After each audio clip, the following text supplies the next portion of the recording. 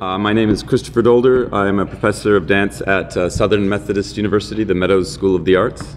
Um, I was a dancer for Martha Graham from 1985 through 1991, her very last six years. I was uh, the very one of the last seven that were with her in her very last piece when she passed away, which was a very, very, very intense, intense time. Um, I left uh, Martha's company just basically oh, a few months after she passed uh, I went and got my graduate degree at Mills College in Oakland, California, and proceeded to teach at UC Berkeley as a dance lecturer for 15 years, so 1991 through 2006. And then I got very um, burned out on academia and all the politics of academia, as did my wife. We had three. We have three kids. They were two, five, and seven at the time. So I said, "Let's quit our jobs. Let's move to Maui. I want to buy this farm. I want to rehabilitate a macadamia farm and build my own house." So that's what we did. so we, uh, I had remodeled a few homes in a row, and so we built up a little capital, and so we just did this grand experiment. And so for three years, my kids got to go to Wailuku Elementary, and we lived in Wailuku, Hawaii. And uh, I was a macadamia farmer, and I didn't dance for three years. I was I, uh, I ran a business called All Trades Repair and Remodel. So I would either fix your toilet or, or build you a pagoda, but it was 50 bucks an hour. Wow. Didn't matter. It's the same rate. Doesn't matter what it is, man. It's 50 bucks an hour. So, uh, and I got to. Uh, have my dream of building my own home. I it was uh, just you know 16 foot open beam ceiling, four foot unsupported eaves, and then sculpt the land. My grandparents lived and died in Maui, so we were able to transfer a lot of their old uh, banana trees, etc., to the property because the idea was to make like a three crop macadamia, bananas, and dwarf citrus. Uh, and then that that experiment exploded in 2008 when everything else exploded, and uh, looks like and it was all going to just crumble. And out of the blue, providentially, I was uh, um, sent an email by Southern Methodist University, and they were looking for someone who uh, was uh, a chief research was in dance kinesiology, but was also could teach the Martha Graham technique. Generally, those don't end up in the same body. One is hard biomechanical science, and the other is crazy metaphorical drama. uh, and yet, they also wanted someone who had uh, skills uh, in dance and camera. And I almost thought it was a joke because I had been out of the business for three years, and yet that was my resume. Like that, their job description was my resume.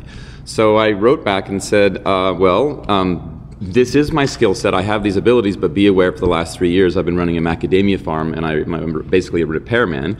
But they, they said, well, then please send us your resume. And so I stayed up a full night, 24 hours, and put in all my philosophies and pedagogies and various dances that I'd choreographed. Um, I used to have my own company in New York when I was dancing for Martha called Christopher Dolder and Friends. So I sent them this whole package 24 hours later, and then they sent me an invitation to come interview. And I flew out here. I'd never been to Dallas in my life uh, interviewed, and it just was meant to be. Everybody I met was just it was I got this really deep connection, and I'm now been here five years, and I just finished what's called my 10-year track, and uh, I will find out in March whether I get the you get to stay here forever or see you later, don't come back. so we'll see what happens. But uh, so this this uh, documentary Meadows at the Winspear Rite of Spring at least also services both as my art, but it also services as my publishing because one of my lines of research is in uh, you know dance and camera. So my chief line of research is in dance kinesiology. Then secondary is dance and emerging cultures. So um, are you familiar with the Burning Man Festival? So uh, yes, I am a burner. I admit it. I've been there 11 times.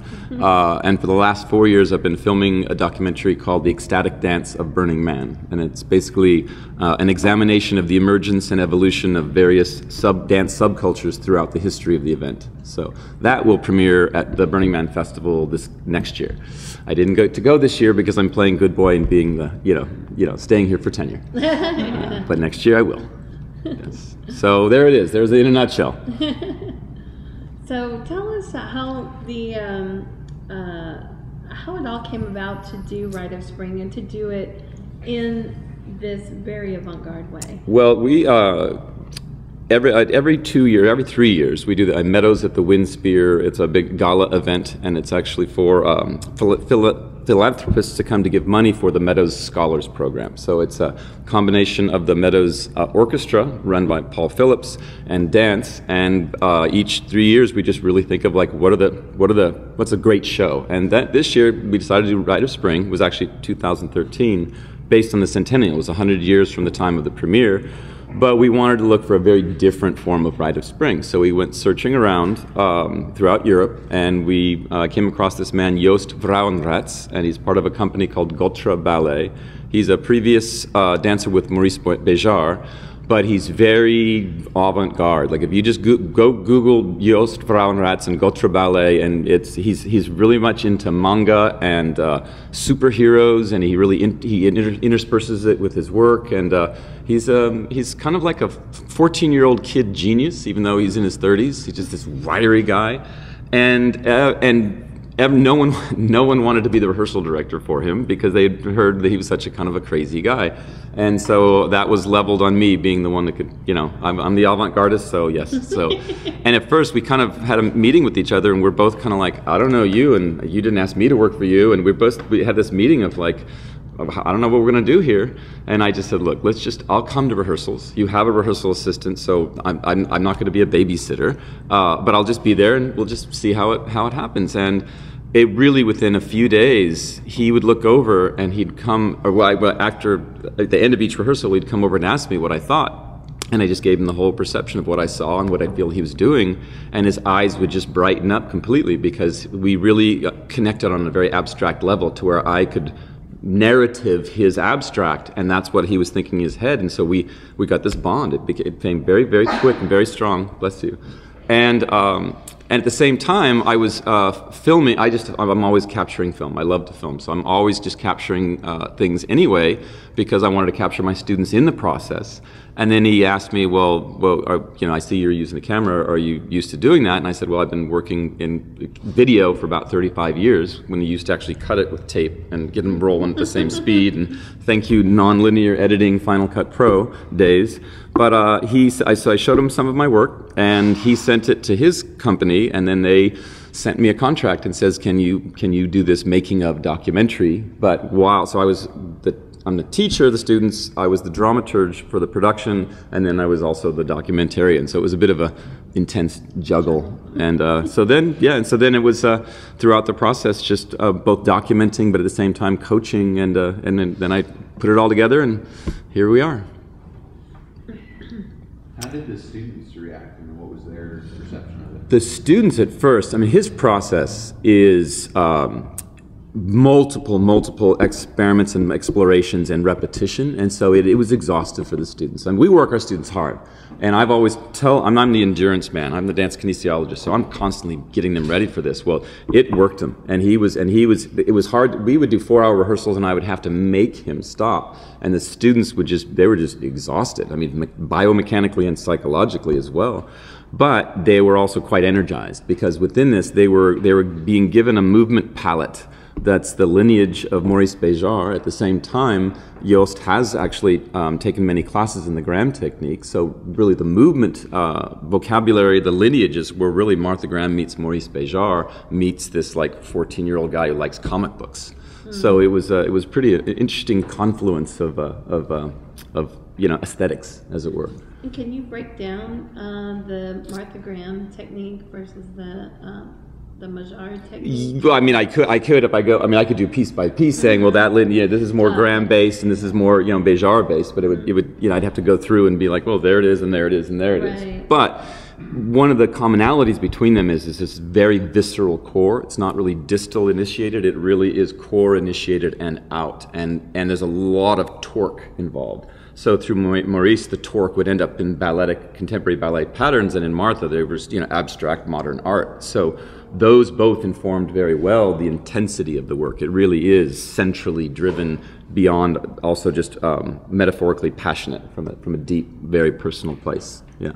As a uh, dancer and now film, how I'm just interested in how you blend. I mean, I know what you want to see, yeah. but you as a dancer well, you you control. I mean, you know, there's so much power in the lens. There's so much power in the framing of what you see. And this, what you know, what people will see is this documentary version, this edited version, is going to be different than anything they saw live. So even the people who saw it live are going to get a different show because I'm choosing to be the close-up on the chosen one. I'm choosing for the puppet to be this big in the screen and be that much more intimidating. So you're able to really manipulate the uh, the amplitudes uh, beyond the context, the amplitudes of what you're what you're showing. So it's it's a I, I'm I'm hoping. I mean, Joost is very pleased with it, and it's it's another version of his work, and it does uh, and it has its own kind of. Um, I get to control a little bit of the drama, as it were, as it were. But at the same time, knowing fully full well what he would like, so he was really excited when he saw the version of it. He was like, "Wow, that's you know, one more take on it." Yeah. While you were going through the lens, I mean, you, you're choosing, as you said, your, view through that camera lens. How did that adjust your view as the job dramaturg? Um, actually, it, to, tr- truthfully, it didn't have an effect on it because it, it was really one is when I'm behind the camera, uh, I'm, I'm almost like the camera. I'm the mechanism. I already have the aesthetic of what I'm looking for, so I'm, I'm that mechanism. I don't. Ha- I'm, I'm I'm turning off the brain as to is this contextually accurate? Is this you know is this uh, redundant or is this is this supportive and all? I, I turn that part of the brain off. I really become the cameraman, and I, I step away from the dramaturge completely because at that point you're contemplating. Oh, shot's gone. You know that's too many brains. Is there time with that job that it took you back to, well, I'm going to look at my footage? Uh, no, no, I never once looked at any of the footage throughout the process of the making of. I, I just simply filmed everything. And, and one of the greatest challenges, in which I can let you in on the secret, uh, is well, even w- with the context of that, it looks like a multi camera shoot. No, that's, those are all single camera shoots with me behind the camera. So, and, and in, when you actually see at the Winspear itself, uh, the the tempi of the live orchestra version at the Winspear was uh, erratic in, compared to the canned music that we used at the Hope, and yet seven of the performances that I filmed at the Hope informs 60% of the material that's being put into the quote meadows at the Winspear. So it was it was a challenge to get them to sync up because sometimes they'd be oh that's the perfect shot, and they realize oh my god I've got like you know point tenth of a second or whatever that doesn't line up, and I would have to blur the lines a little bit. So in a, in a way, I was kind of distorting, uh, in essence, how the dancers dance to what beat at times to uh, to play with it. And only once did I have to really digitally kind of mess with the timing, and I had to make it a little slower than it was. And it's uh, you know if you really look, there's a section where mm, that's not quite real time, but but yeah, yeah, I think it, I would suggest very few people will catch that. But less non-linear. See, the amount of hours that it took because of that, I've had it just been a multi-camera shoot, I could just go through. But to weave that all into just the, let alone the documentary portion, but to weave that all into that edited version took, oh, I can't even tell, I won't even go into it, but it's over, it's a couple hundred hours. You know, it was. What, which what camera do you I used a AGAF 100. It's a Panasonic AGAF 100. It's an interchangeable lens camera. It's a uh, what's called a micro two thirds lens, and so you can actually with the right kind of mounts, you can even put a big old Panavision lens on it. It's a cool camera because I, I wrote grants uh, uh, last few years, and it was interesting because I'm writing grants for this equipment that even film and media didn't get, and they were gonna, they, they're getting all jealous of me because I have a be- better camera. But I'm like, go write the grants because I was writing them for other purposes for kinesiology as well. But that camera. Uh, I basically shot that all with two lenses. I have a, a, a 20 millimeter prime, but it's super fast. It's like 1.7 uh, f-stop and and and some of the crispness and the and the, that shallow depth of field I was able to get with that is it was was pretty cool. And then also then a longer lens um, zoom 40 140. So sometimes you'll see that catch zoom. But with that camera, you have to pull focus and zoom at the same time, and so there were a lot of misses, as it were. You're like blur.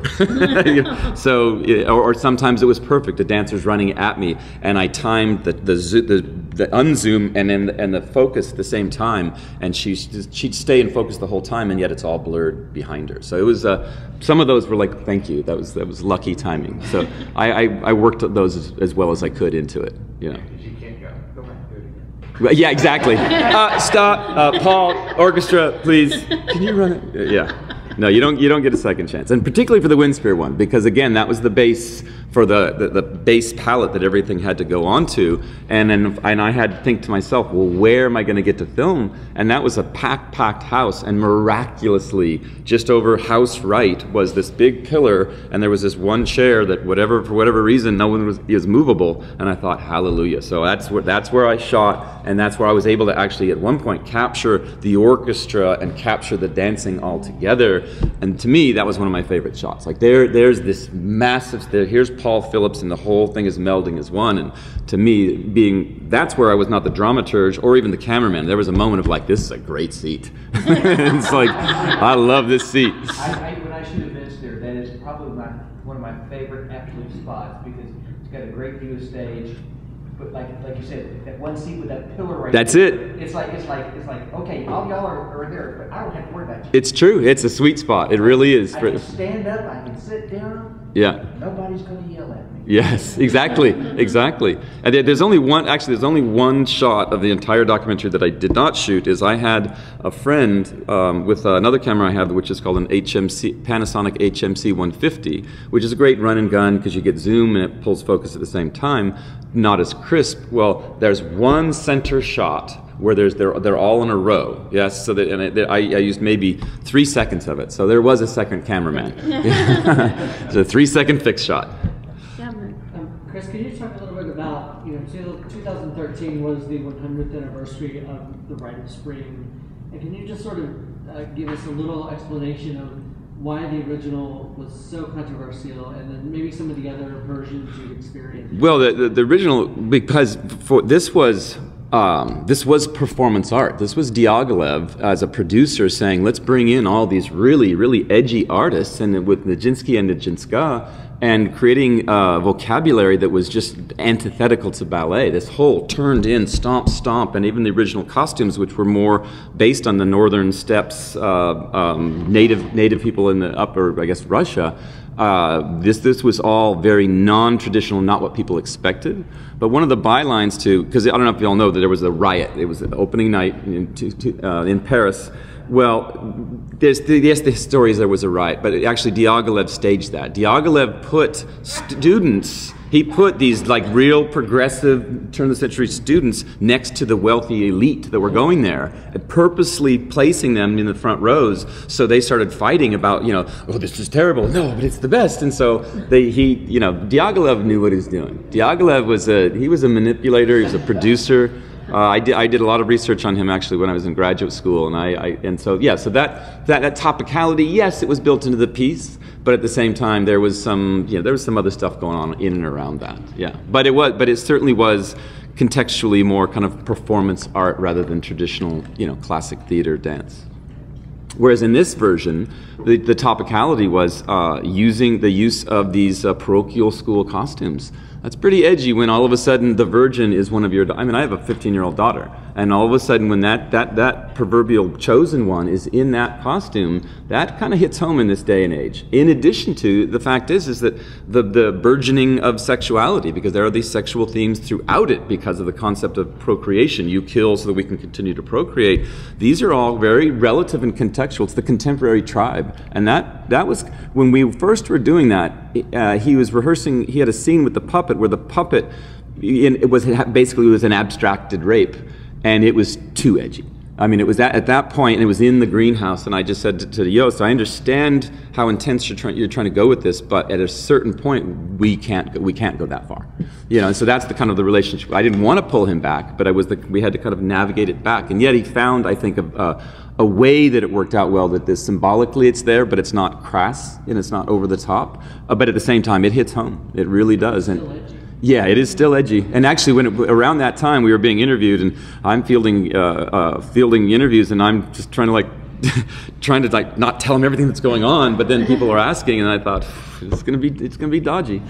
Yeah, but it's I think we uh, we just we just squeaked under that, that limit, and I and I honestly feel that I don't know if any of you saw it at the Wind Winspear, but uh, I mean it was it was it was spectacular success. It was it, it was the audience just it was a full on standing ovation, loved it, grabbed it, grabbed it. So it was and it could have been a huge miss. It could have been the people walking out thing. There's no question about it. Yeah. Well, talk about the choice for for the costuming, um, where where that came from, and how y'all It- came. You know, came because Well, for, for Joost, for Joost, the costuming came from his his love for graphic novels, for for comics, for manga, and that whole sense of like the you know the the the you know basically the, the, the parochial school costume and where it's it's ended up in comic books, etc.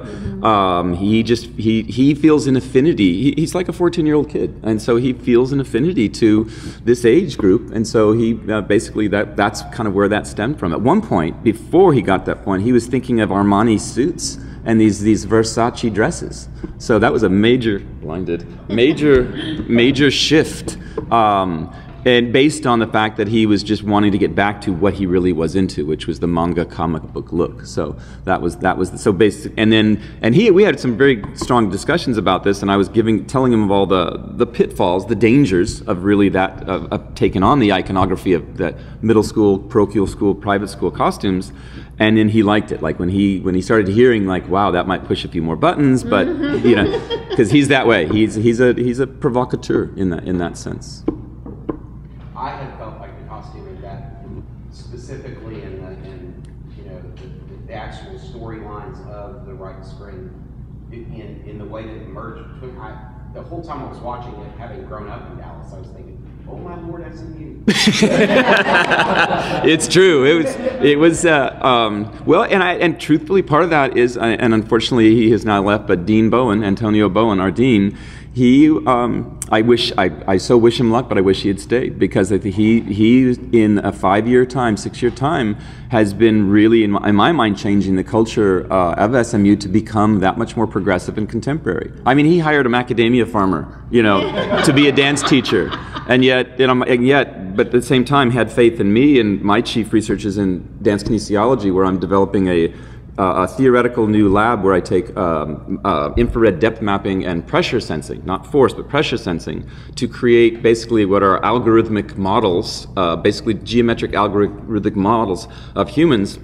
So I'm making actually a digital gravity. So I'm making an avatar space where instead of it just being the vision of a person, it's actually the biomechanical information of that person. And so then we're going to, and so we will, I will be able to output it in kinesiological text or you see it in avatar form, or you go into the lab, I capture you, and whatever you do is now that avatar. So you can play with your own avatar in real space. I mean, in other words, it, if you break it in there, you're going to break it in reality. So uh, next next Friday, I'm I'm uh, I was hired by uh, we have Larry Brown, by the way. I don't know if people know Larry Brown as far as basketball. Well, uh, he's hired me as the, he kept on hearing about the crazy dance teacher teaching his athletes, so he hired me to be a stretch coach for the men's basketball. And so then, so now, uh, then I told him about my research. Well, next Friday I'm getting mechanical engineers, Larry Brown's athletes, dancers, and exercise physiologists. Uh, and I have this company bringing a $500,000 turnkey system because even they were like, why do you need pressure and, and, and infrared depth mapping? And they didn't even understand it, but they said, wow, I talked my way up to the president and they're bringing this $500,000 lab next Friday and we're going to take four constituencies and put that lab to test, you know, put it to work. So again, it's about new contemporary multidisciplinary you know cross those campus lines and not not stay in your own insular place. So that's that's what I, jose has brought to meadows and i'm, I'm hoping to be continuing to push that. Push the limits of what was originally your insular job duty and say no let's cross those lines and let's find some more uh, you know let's let's get more people at the table um, with what you just said um, how does that make you really feel that you're actually able to do these things? I mean, you know, at a particular place, at a particular time from academic back to SMU. Oh, this is a this this is a wonderful place to be for me right now. There's no question about it. I've got a 17 year old, a 15 year old, an 11 year old. Uh, we live I live a block from campus, so I ride my bike. I go to the gym. My kids go to one of the best high schools in the nation, and if all goes well and I get my tenure, they get to go to SMU for free. So I mean, I just and and and with the concept that uh, Jose has put the continuity in Meadows is that I write the grants and I'm getting the money to get the best camera, getting the money. To, I have a I have a ten thousand dollar pressure mat. It's I call it my ten thousand dollar floor mat. It has forty six hundred sensors, and now my students in kinesiology will stand on that. They'll see the the foot ortho, the orthopedic individuation of their feet, like a topo, topo, topography map and they can start to make extrapolations of well maybe the hip is a length maybe it's twisted so they're using cutting edge contemporary data to actually see what's going on in their own bodies which they never did before and so at that point to be able to merge science with art is it, and SMU is making that happen. And I mean, this is, and I taught at Berkeley for 15 years, where people get so insular that you're not getting that crossover. So as far as I'm concerned, SMU is doing pretty much what I mean. I would think the best university in the nation could do. I mean, it really is investigating through non-traditional crossovers. I think you're gonna see a lot more of your sports, uh, coaches coming to talk to you after, uh. Yeah, that- no, it's it's good. Like, I mean, Especially the, the basketball players, I agree, but, but the, the, even the baseball players and, and, and heaven the football players learning what they're Hey, doing wrong. football player. I have. Uh, so I, I, I designed a modern dance class for the athletes. I started it last summer and I had it this summer. And you know, first these athletes come in and they're pretty street and they're just like, you know, what are you going to teach me? And within a week, they're like, oh my god, this is much harder than I thought. And I and the stretching and this guy Robert Seals, he's a linebacker. He uh, he, I gave him off the last day because they wanted to see families and all that. But he came the last day anyway. And I said, Robert, what are you here? And he says, I just got to get one more stretching. He said, my four, my forty time he was dropped from a 475 to a 44 in four weeks because of his stretching. Because I told him theoretically, he thought his coaches were because he had a slow start. And I said, no, your hamstrings are so tight in relationship to your hip flexors, you're creating a wobble. The faster you run, it's creating this warble. The, when you get this smooth line where your hip flexors aren't in opposition, meaning tightening, he improved his time in one month from a 475 to a 44.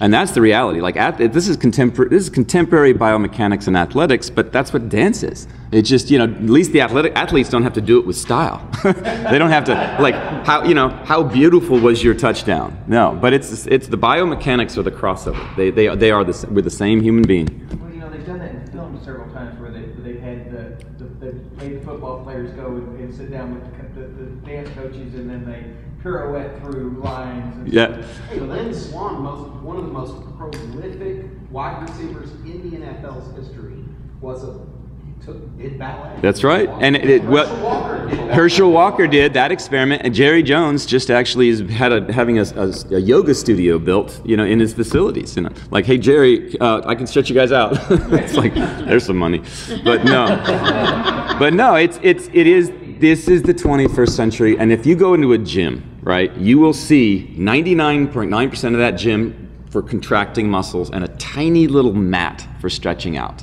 And it, and that that's old. That's like that's like the, the dark ages.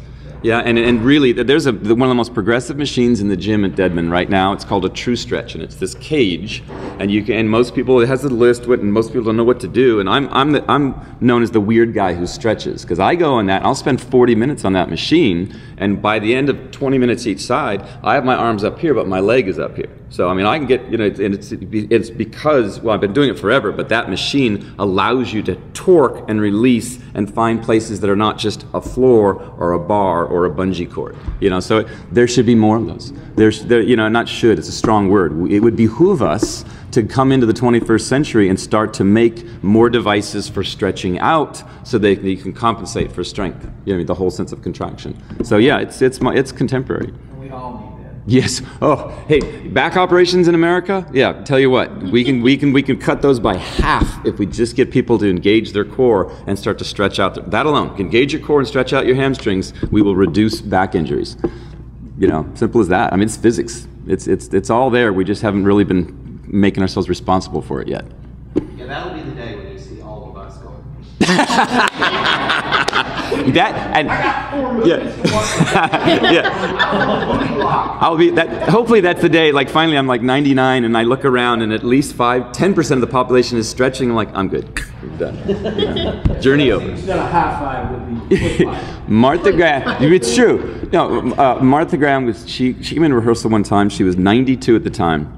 She could be a real evil, mean woman. She could be a really mean woman.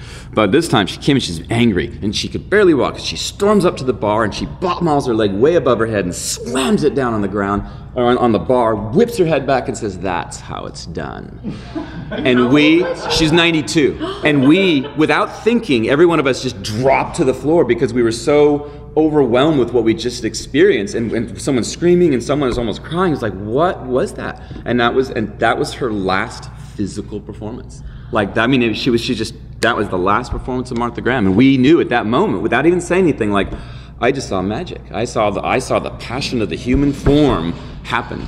I mean and it, it keeps you alive. My my teacher one of my mentors uh, Marnie Wood, I performed with her last summer, and she was doing a piece called Flower Fiction at the Ailey Center, and she wanted to do the three stages of her life. So she chose Stuart Hodes. He's 88 years old. He's the last remaining male dancer who partnered with Martha. Then she chose me. I'm 52, and so I was the middle-aged guy. And then she chose this 36-year-old dancer, Oliver Tobin, to be her youth. And so we're all. She's doing the stages of her life. She's 78. When- In rehearsal, she just run at me full speed, jump on my leg, hinge down to the ground. Expect. I mean, it, 78. I mean, she does knee work. She she'll show you up. So, so it's you know it, it does it, it it Martha Graham technique done correctly will make you last. Incorrectly will damage you within a week. So and that's why. So my whole premise as to how I teach the Graham technique is purely from a biomechanical kinesiological standpoint. Like I don't I don't need the drama. I don't need the emotion at all. Let's let's just start with the physics of it, and then we start to put intent on top of that. So that's that was one of the reasons that to a certain degree I believe that I got the job. You know. So. So your plate seems pretty full, but seems like it's part of a bigger vision that you have. I- where I- you want to go. I have a huge- Where is the vision going? The vision for me is actually to take technology and actually get it back to reality rather than staying in technology. You know what I mean? It's like I don't just want kids to just look at an avatar and play the avatar. I want the avatar to be a springboard for what they can do in real space. And I think that once you, it's like game theory. When you're, you're tricking them with their own game. Because right now, I think contemporary society, I think, I think our kids, my sons, my you know, sons, are so uh, addicted to virtual digital reality that, that we, how are we going to pull them back out? Well, let's say let, let's say uh, let's say you have to do. I'm, I'm going to institute a system. You got to do so many push-ups for so many you know for so many minutes or something like that. Or let's do a game where it's a combination of figure out something in virtual space and now go out and make it happen. Then go out and make it happen in reality, or a mixture of the two. We, you know, at this point, we we're getting virtual reality is coming back again. You know how it just it get it was too freaky for people. I think virtual reality when it came out freaked people out a little. They weren't ready for it. But now we're getting that point where virtual reality, we're not going to just sit and pretend and toggle stuff. We're going to be virtual reality where you're moving around and you're fighting those demons, but that you're seeing them, but you are physically moving. So that synthesis, yeah, I'm hoping to be a part of that because I, I, I think we've gone pretty heavily into this sedate, only mental, virtual place, and I would like to get some visceral, uh, visceral inter- interaction. So to me, that's that, and just physical education for, for kids is a huge passion for me. The fact that a kid, my son who's 11, can list every last weapon on Call of Duty and every last range of what you do for whatever situation, and yet doesn't know what his bicep is and he doesn't know the muscles that got him to school, that's a problem. I mean, it really is. And so we, there's these. I, I brought in a, an interactive functional anatomy program to, to, for his uh, when he was in first grade, and the ooh factor when the kids saw the muscles and saw the bones and all this. That ooh factor, we need to manipulate that and get these kids excited about the vehicle that they're walking around in before they throw a baseball before they catch a football. You know what I mean? It's like this is your vehicle. Get get, get used to driving it better. You know, I work with these athletes, and they, we, you know, they, they, it's a game because I can do more push-ups than any of them. Like you, the, the strongest athletes, and they just don't get it. And so then, it, so I'm saying to them, look, I'm a, I have a Volkswagen, and I'm a really good driver, right? You guys are Maseratis, and you're okay driving, right? So just think if you take your Maserati and you learn how to drive that, and they're all getting the metaphor, and one guy goes, I'm a Bentley.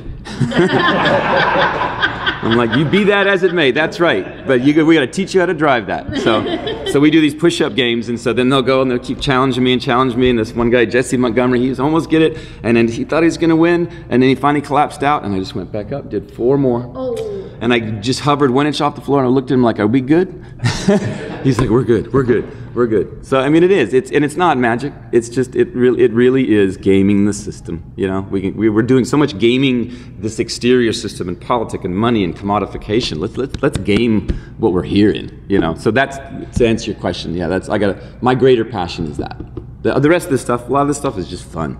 It's just fun stuff. But that that's something. If I was to leave a mark, it's like we got to we got to change that we've been writing on it too long and, and i think coaches are starting well first of all with the whole concussion awareness that's one of the first steps. Taking a greater responsibility for these games we play well at the same time we're not even talking about all these perpetuated injuries and, and ligament damage. No one's talking about that and these guys are limping around the rest of their life. Yeah they got a lot of money but what good is money if you every day wake up feeling terrible right? So that that a lot of that can be uh, the knowledge of how to run that system from the beginning will keep you healthier longer. So, yeah, there you go. I mean, that's truly a passionate thought.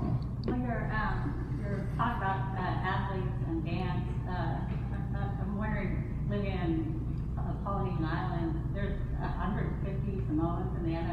and of course their weight, but also the dancing.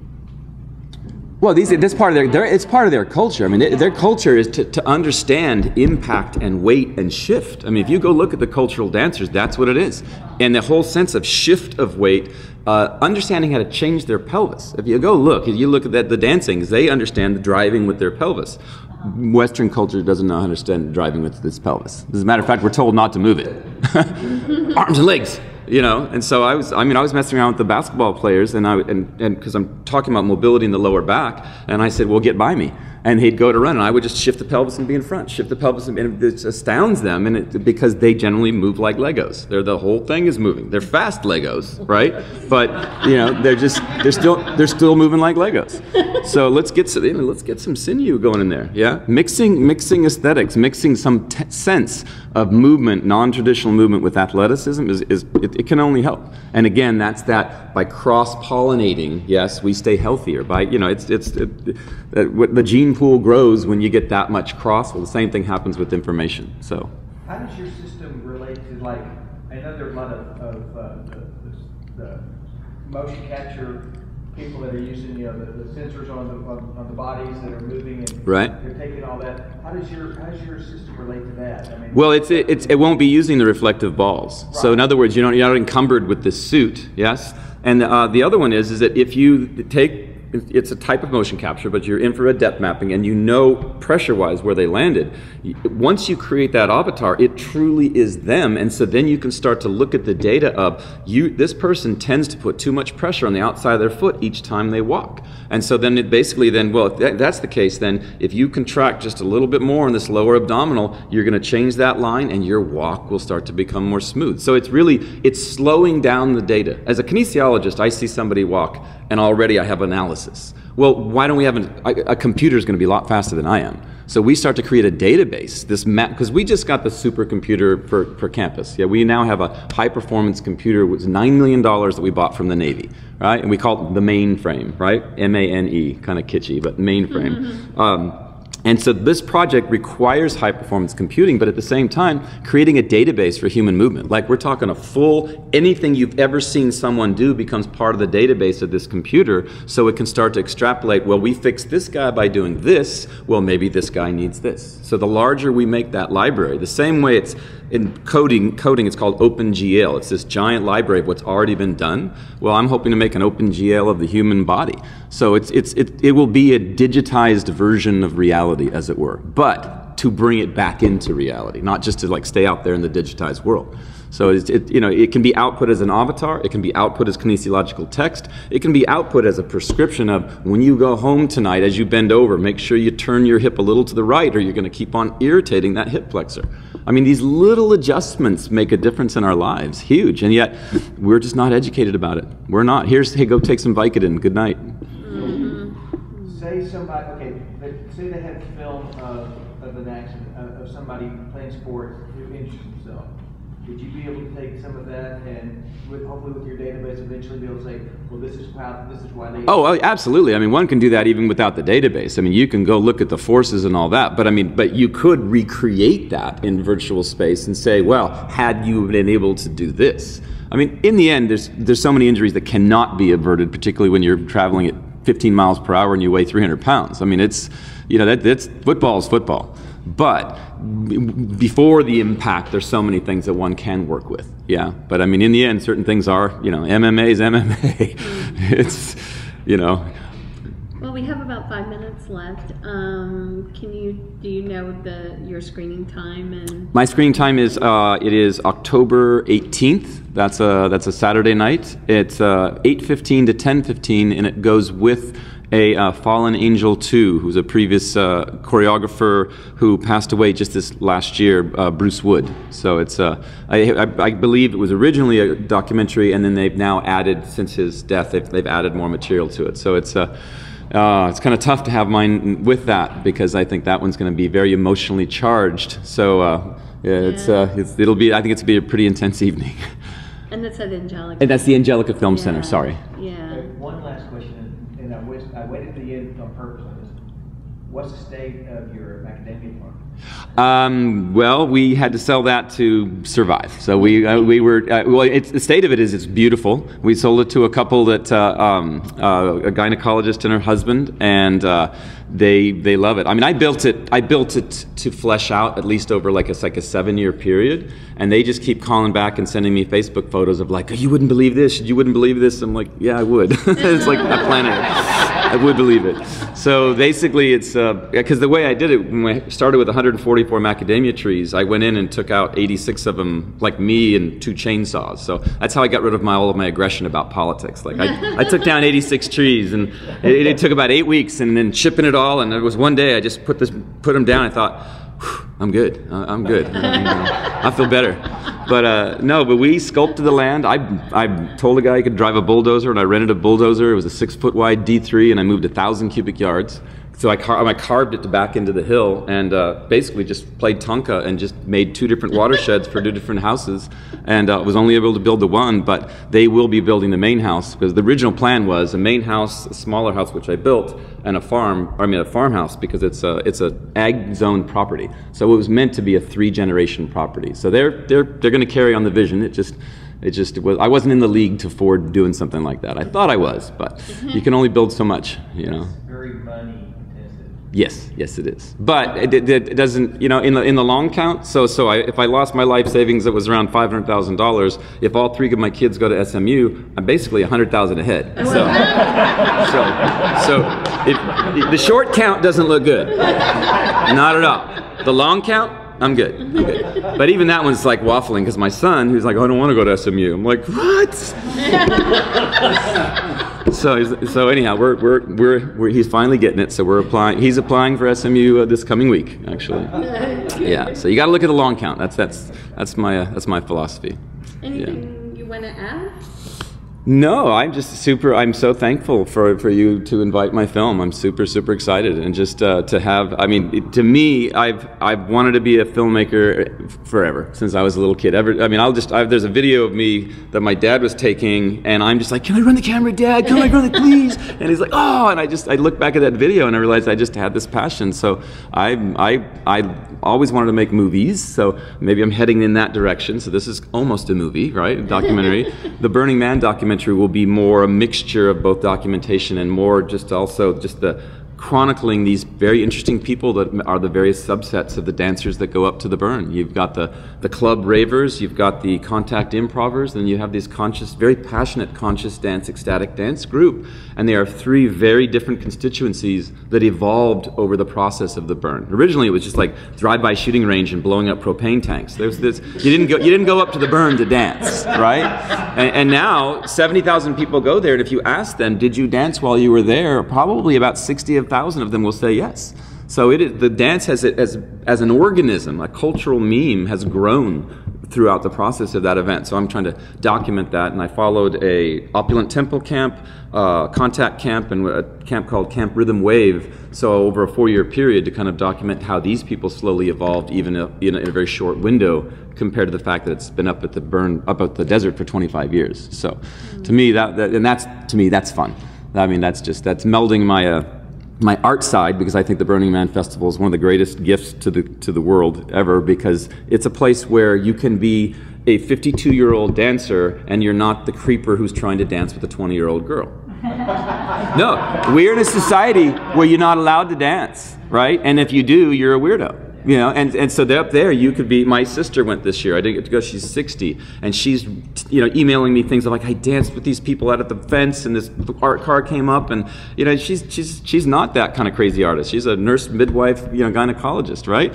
And she was just, she loved it. I mean, it's the kind of thing where when you can take all ages, all cultures, and no matter what the bond is, if I see you, you're my brother, and it does, and that's that's that's one of the rule sets. And someone wrecks up there on a bike, people converge. Someone wrecks here on a bike, I'm like, oh, I can't deal with that liability, you know. And so to me, I, I want to spread that gospel, as it were, and that's and I just you know that's that to me is both fun, but again, mixing my artist, my my altruist, uh, and then my my dancing camera abilities all together. So that's the that's next up. So everybody come come to the burn next year, and you can see the premiere. All right.